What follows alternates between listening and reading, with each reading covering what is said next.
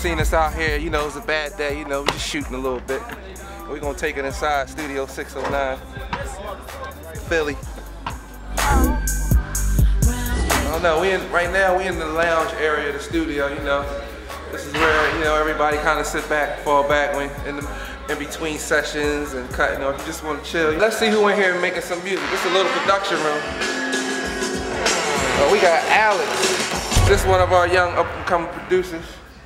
He in here making, making a lot of noise. Part, part of Harry now, you know what I'm saying? This is Alex, part of Harry now. you know, better known as Chigro, better known as AKA uh, uh, Carlos. Brigante. But y'all just see what's going on. There's something working in every little crevice of this place. So this is how you're supposed to do a studio. Every little room got to be occupied, working, Yeah. moving, productive. You know what I'm saying? Oh, this the B room. You know, it's just, you know, where you can basically cut a whole album in here and get what you got to get done. And a little booth. And, uh, you know, we still under construction, so we got little things see like that. We got trim coming. We got new speakers coming in. That's all coming out. Y'all see in the raw, but Yeah. we in here working though. Everybody now we in Studio C, Studio 609. It's kind of identical to Studio B, just a smaller vocal booth, but We call them Twin Terror rooms. twin terror rooms. You know, basically you do the same thing here. You cut real comfortable, have fun, whatever. You know.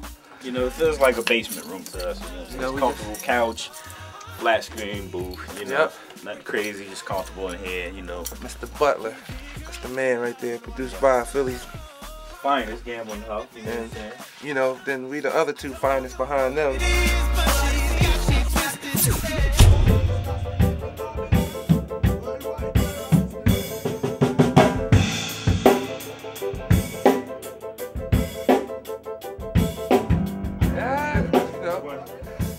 Was about to go ahead. This is where we have fun at, you know, we play all live. Everything we play is mostly everything live, so you know. And this is basically, you know, it's where it all goes down at, folks. The time has come for the war of the It's that time. I'm gonna take the subtle approach first, cause I'm just getting started. Let's go. Look, I'm not talking about one one hit. You know, you gotta keep going. needed up a publicity. Our A room, our A room, you know, where we mix every record that you probably heard in the past three years. And, you know, pretty much been cutting all our stuff here now that we have our own facility. We don't have to go nowhere to mix, record, or nothing. So that's what it's all about, you know. So, world class right here for y'all. You know, got inspired first by being in church playing drums. That's where it started, and different family members. Then, you know, just just traveling around, listening to different music and Yeah, and the funny thing is, we we both we're actually like eight months part. in in age apart, and I started playing drums around six, seven, and so did he. So, Yep. you know, that's where our root came from, and uh, the the way we met each other actually. Um, Hmm. His uncle, my uncle, they were like best friends. great man. musicians and best friends. They they played with the Winans, a gospel group back in the day. Big- you know, big so- time, big time. Not even back in the day, still Yeah. you know, awesome now. But in the midst of all that musicianship, we were introduced to production game by a friend named Keith Pelzer.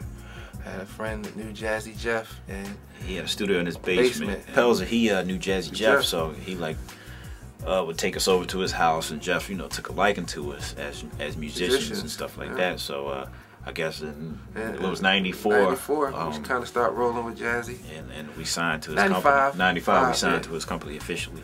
Uh, actually, just- yeah, actually, the, to keep it all the way funky with you guys out there. Uh, uh, Vidal, he unfortunately he was in a, a car accident and uh, he came to some case money.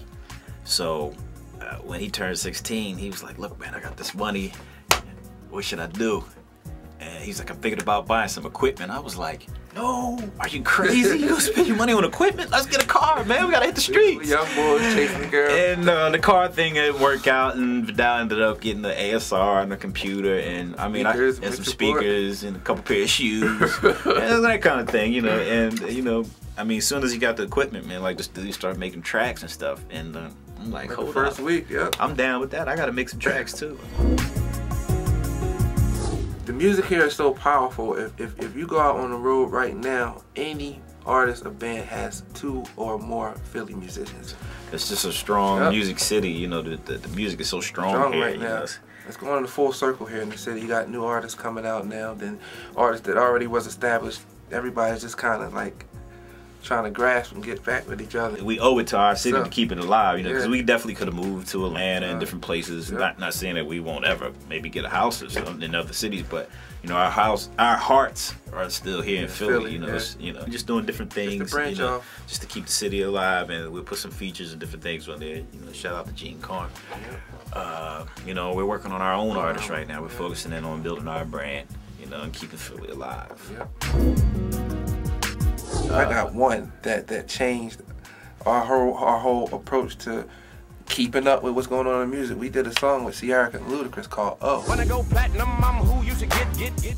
Let people really know that oh, these guys are music. You know, Yeah. they can do all sorts of things. Yep. you know, we work with Michael Jackson. Yeah. Like, you know, You come get on now. One more. One more. Matter of fact, I don't know if you let me let me get this picture so y'all can. Dow was in the bathroom while we took this shot. That's you an early, early Mike pick. yeah, you know, a little chunky love on there, but you know, got it together now. Dirty South, we ballin'. Look out for a new record on uh, Luda. Uh, Yeah, Luda, Usher. We got the Uh, title cut for his new album, Here I Stand. Yeah, We're actually working with a young lady that's in the lounge now, named Antonique. She's playing Faith Evans' role. Girl, actually in the booth right now. Biggie Smalls They movie. talking that. Chris Brown. There's a lot of new artists. Um, M- Miguel, this new kid on Jive. He's an incredible artist. Um, Ciara. Mario, we We're working, working with on now. Mario, Ciara. Ciara. Um, oh, we just Bien. did two songs with Kelly Clarkson. It's a lot of things coming, folks. Uh, you know, Man, I got a lot of support from my boys, Dre and Vidal. They let me come down to Stu, rock out every day whenever I want to, you know what I'm Still saying? you. Dude, Studio 609, man. Young C, yeah.